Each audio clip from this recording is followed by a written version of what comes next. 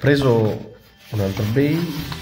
Allora, non sono a casa, sono a lavoro. Ho fatto mandare il pacco dove lavoro perché sto più tempo lì che a casa. E faccio spacchettamento adesso perché intanto non ho niente da fare per adesso. Quindi apriamo il pacco.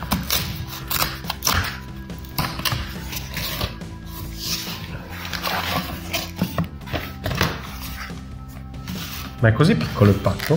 No, aspetta. Fammi pensare.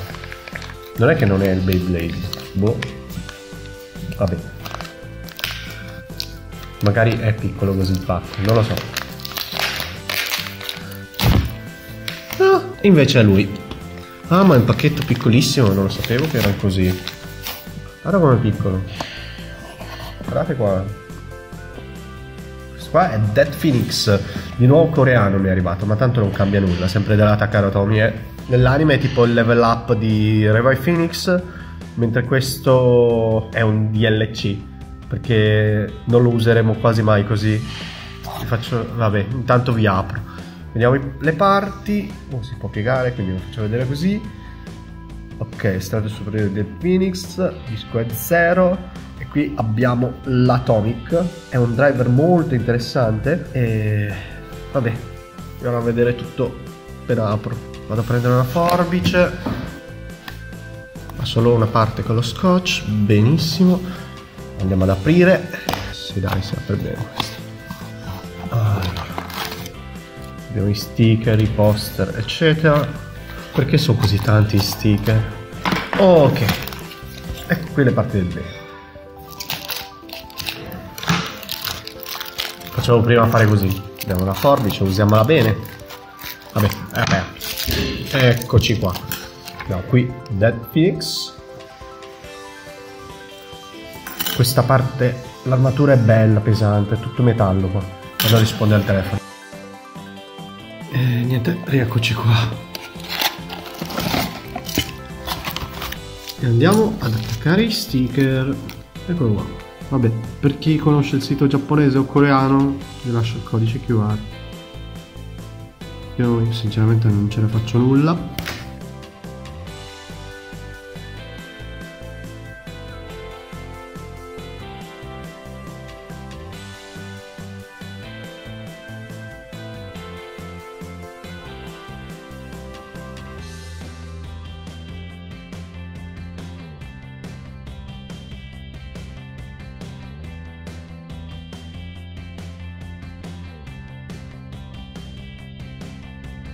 Allora, ho attaccato i sticker. Uh, dalla parte precedente ormai sono passate delle settimane perché aspettavo questo, questa bilancia qui portatile perché mi serve per pesare i pezzi, perché vi faccio vedere come si compone Perfect Phoenix. Ma prima andiamo a vedere le parti di Dead Phoenix.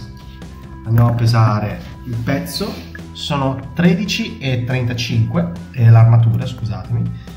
Qui abbiamo lo strato superiore senza l'armatura e pesa 8 0,68 abbiamo il disco forgiato 0 pesa 23,61 e qui abbiamo l'Atomic uno dei driver competitivi sulla difesa. E pesa 7,36 37 scusatemi e questo è Dead Phoenix. Mentre per fare Perfect Phoenix andiamo a pesare qui i pezzi. Qui abbiamo l'armatura che pesa 13 e 35, mentre l'armatura di Revive Phoenix pesa solo 9 e 11, quindi questa parte pesa di più. Poi abbiamo lo strato superiore di Revive Phoenix e pesa 14,9 10 qualcosa. E abbiamo la parte superiore di Dead Phoenix che pesa solo 8,68 quindi Revive Phoenix è più pesante. Quindi unendo l'armatura di Dead Phoenix e lo strato superiore di Revive Phoenix si può fare Perfect Phoenix che è più pesante la combo. le altre parti possiamo combinarle come vogliamo. Vediamo qual è più pesante tra i dischi forgiati. Abbiamo 23.60 qualcosa. 10 è leggermente più pesante, di poco, di 0,10 grammi, qualcosa del genere. Poi abbiamo l'Atomic e Friction 6.63 7.36 questo è più pesante ma non lo scegliamo solo perché è più pesante ma anche più competitivo. E qui abbiamo Perfect Phoenix mentre qui diventa Unperfect Phoenix. È praticamente se giocate a Pokémon sapete tipo, non lo so, Ratata, Zizzagoon o i Bidoof che catturate nel, nei primi percorsi e rimarranno nel box per sempre. Questo è l'esempio, questo è il nostro Zizzagoon o Ratata o Bidoof che lasceremo nel box per sempre, non lo useremo mai così. E questo è Perfect Phoenix. Allora, prima di andare a buttare via Unperfect Phoenix nel dimenticatoio, almeno facciamo qualche sfida da Dead Phoenix contro Revive Phoenix.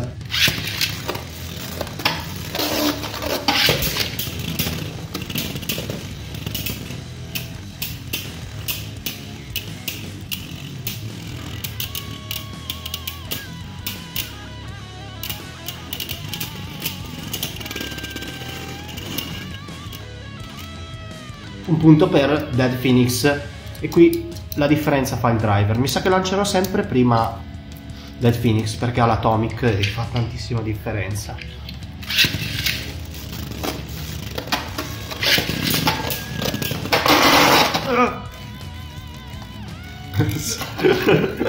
Sono due punti per Dead Phoenix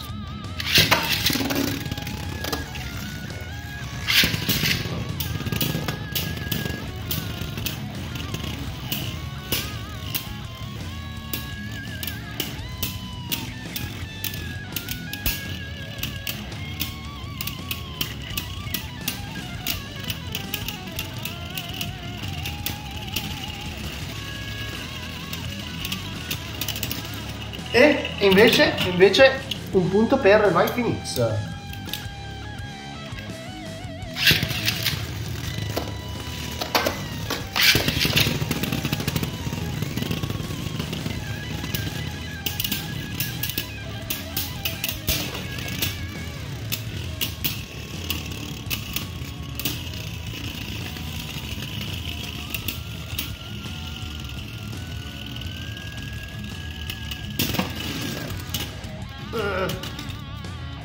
Vince Death Phoenix 3 a 0 cioè la combo base è più forte eh, rispetto a Revive Phoenix però messi insieme facendo Perfect Phoenix la combo è ancora più forte e competitiva. Attualmente allora sono due stagioni più avanti e Perfect Phoenix la parte superiore è ancora una delle parti più competitive usate nei tornei.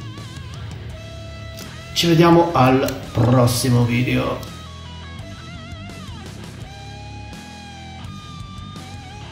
E questo è